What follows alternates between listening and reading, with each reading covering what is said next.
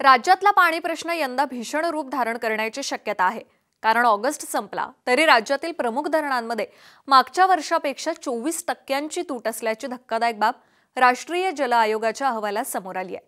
पाहुयात एक रिपोर्ट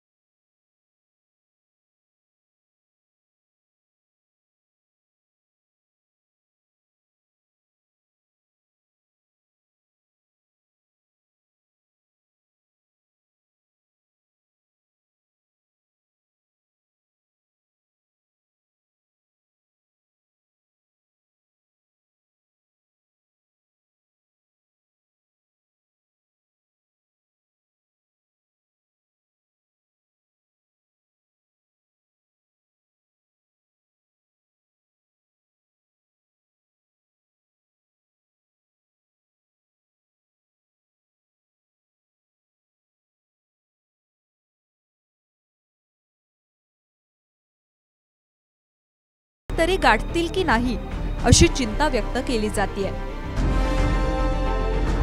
त्यांनी गावामध्ये जनावरांच्यासाठी आणि लोकांच्यासाठी पिण्याच्या पाण्याची समस्या तयार व्हायला लागली आणि याच्यामध्ये विविध खबरदारी घेतली नाही तर आणखी दिवसाने गंभीर स्थिती येईल. त्यासाठी पाणी कसे कसे देतात ते करता येते याचा विचार करावा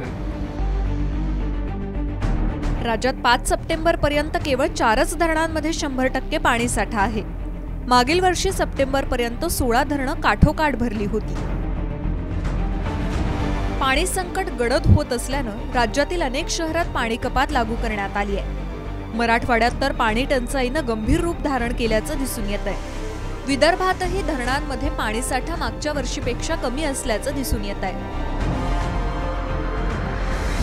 मागच्या वर्षी पूर्णपणे भरलेल्या उजनी धरणात यंदा फक्त सतरा पूर्णांक चोपन्न टक्के इतका पाणीसाठा आहे. मराठवाड्यातील सर्वात मोठं धरण असलेल्या जायकवाडीत तेहतीस टक्के पाणीसाठा शिल्लक आहे. मागच्या वर्षी चौऱ्याण्णव टक्के इतका पाणीसाठा होता.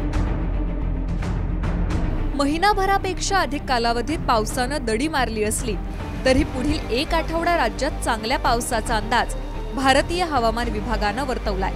त्यामुळं बळीराजासह सर्वांचंच आभाळाकडे लक्ष लागलंय. Bureau report Saam news.